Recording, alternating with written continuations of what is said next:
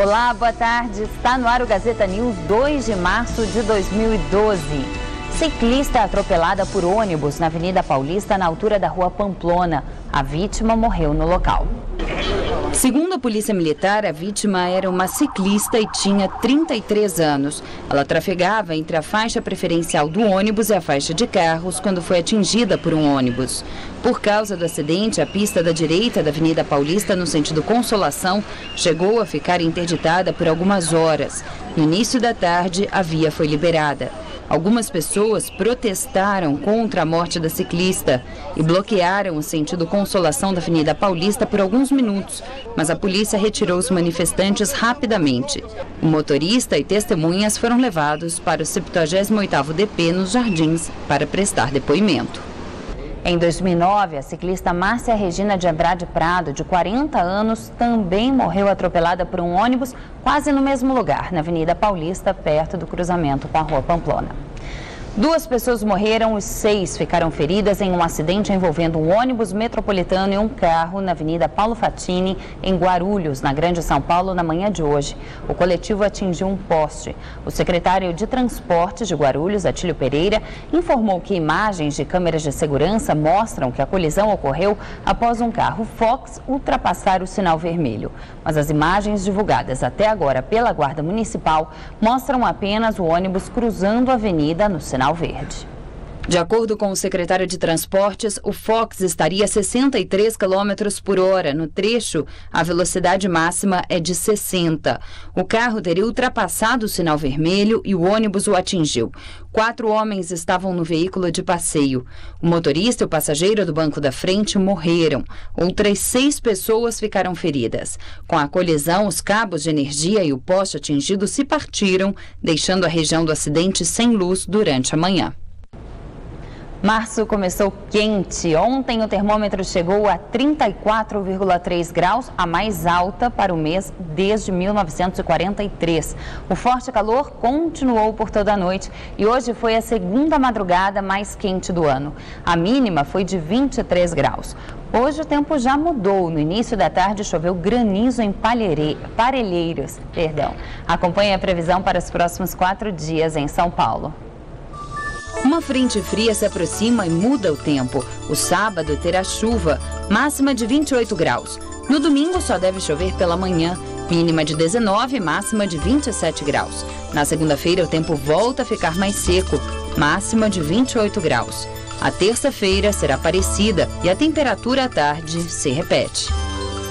A seguir, Toquinho faz shows gratuitos hoje, amanhã e domingo em São Paulo. Criminosos fazem arrastão em restaurante da Vila Nova Conceição, bairro Nobre de São Paulo. A polícia informou que dois ladrões invadiram um restaurante oriental na rua Bastos Pereira por volta das 11 horas da noite de ontem. A dupla obrigou clientes e funcionários a se deitarem no chão e começou a recolher relógios, celulares e dinheiro. O dono do restaurante conseguiu avisar dois seguranças particulares que faziam ronda na rua e os ladrões fugiram pelo telhado. A polícia militar fez buscas nos imóveis do quarteirão, mas não encontrou os criminosos. Na perseguição, a polícia descobriu um galpão na Avenida Santo Amaro que funcionava como um depósito de máquinas caça-níqueis.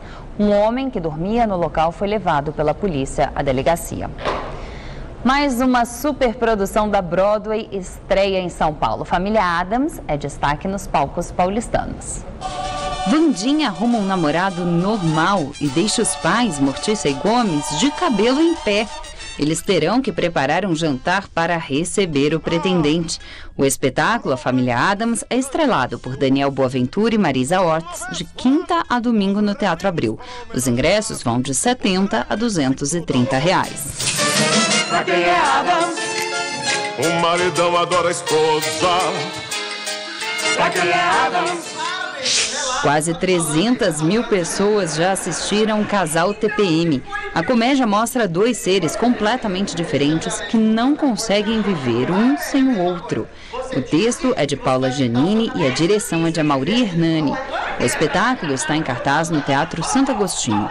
Aos sábados, as entradas custam 50 reais. Aos domingos, o bilhete é 40 reais típico bom filho recebe um importante prêmio de ciências e precisa ministrar uma palestra. Na primeira fila, sua supermãe o interrompe para que ele fale sobre a infância. Como se tornar uma supermãe em 10 lições mostra as consequências de uma educação superprotetora.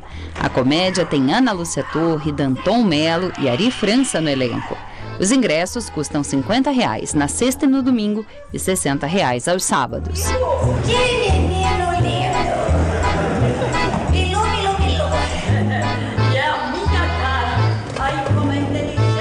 Toquinho tem shows gratuitos em São Paulo hoje e durante o fim de semana. O cantor e compositor vai se apresentar nesta sexta-feira no Centro Educacional Unificado Formosa, na Zona Leste de São Paulo. No sábado é o céu de Cantos do Amanhecer, na Zona Sul, que recebe Toquinho. No domingo, a unidade da Quinta do Sol, na Zona Leste da cidade, recebe a apresentação que vai contar com clássicos como Aquarela e Tarde em Itapuã. Os ingressos devem ser retirados nas unidades com antecedência. E é o som de Toquinho que encerra o Gazeta News de hoje. Mais notícias daqui a pouco às sete da noite no Jornal da Gazeta. Até já.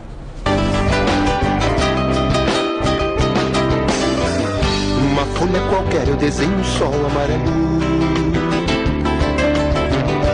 cinco ou seis retas é fácil fazer um castelo.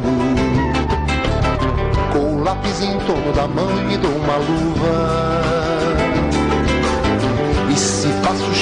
Com dois discos, tem guarda-chuva.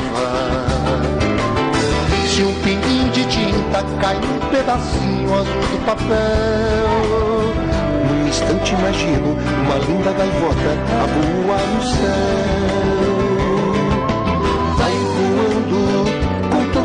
a imensa curva, norte-sul, vou com ela, viajando Havaí, Pequim ou Istambul. Pinto um barco a vela navegando é tanto céu e mar, num